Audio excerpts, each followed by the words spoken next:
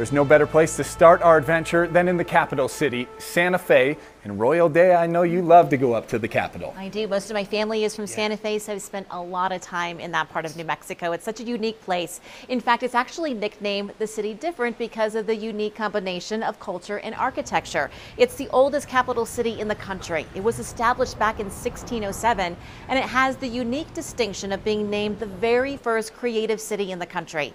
One in 10 jobs in Santa Fe is tied to art, and it has the highest percentage of writers and authors in the U.S. There's a lot of history in Santa Fe. On the north side of the plaza is the Palace of the Governors. It's the oldest continuously occupied public building in the country, dating all the way back to 1610. It's been home to Spanish, Mexican, American, and Pueblo Indian leaders. In 1909, it was designated as the home for the Museum of New Mexico. A lot of New Mexico history is preserved through photos inside.